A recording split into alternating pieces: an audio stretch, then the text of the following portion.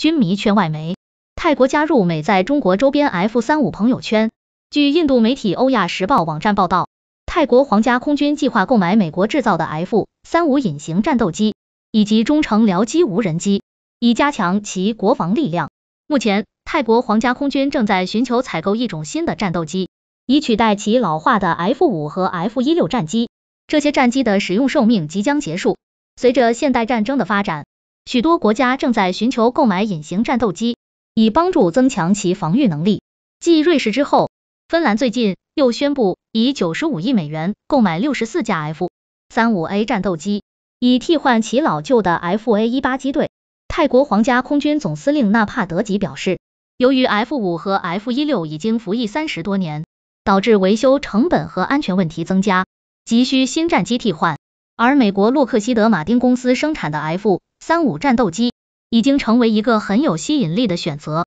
现在该机的成本已经从最初的1.42亿美元下降到了8200万美元。现在的泰国空军还装备有瑞典萨博公司生产的鹰狮战斗机，而该机的价格也达到了8500万美元。因此，纳帕德吉相信采购洛马公司的五代机并非遥不可及。根据谈判，F35 的价格还有可能会降至每架7000万美元，而采购新战机的预算可能会在2023财年分配。该财年将于二零二二年十月开始，泰国可能将成立一个委员会来监督新战机的采购。纳帕德吉还强调，泰国空军购买新武器是致力于保卫人民和国家的安全。由于疫情造成的预算限制，空军将计划分阶段购买新战机。此外，泰国空军还对其他现代空中作战装备感兴趣，特别是由澳大利亚空军和波音公司联合开发的中程僚机无人机。纳帕德吉表示。空军不需要采购一整支 F 三五战机中队，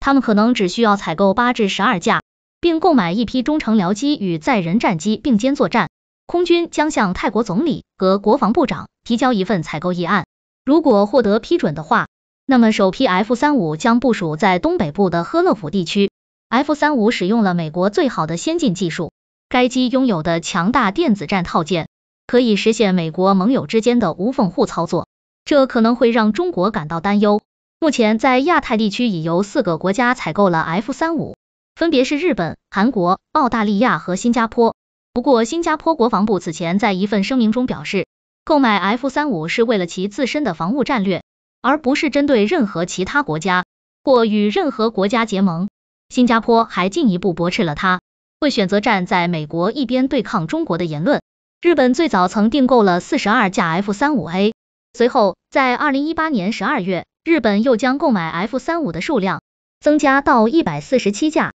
其中包括了采购四十二架 F 三五 B 短起飞、垂直降落战机。韩国为空军在二零一四年与美国签订的六十四亿美元合同，订购了四十架 F 三五 A 战斗机。而二零一九年，韩国方面透露，已经启动了其第二阶段购买隐形战斗机的计划，将继续采购二十架 F 三五。而澳大利亚也采购了七十二架 F 三五 A 战机，以取代其 F A 一八 A B 大黄蜂战机。面对中国在印度洋太平洋地区的影响力，美国及其盟友正在寻求各种遏制中国的方法。而美国已经在中周边地区构建了 F 三五朋友圈。而当美国在该地区的盟友开始驾驶 F 三五进行空中巡逻演习时，中国会有什么反应，还尚待观察。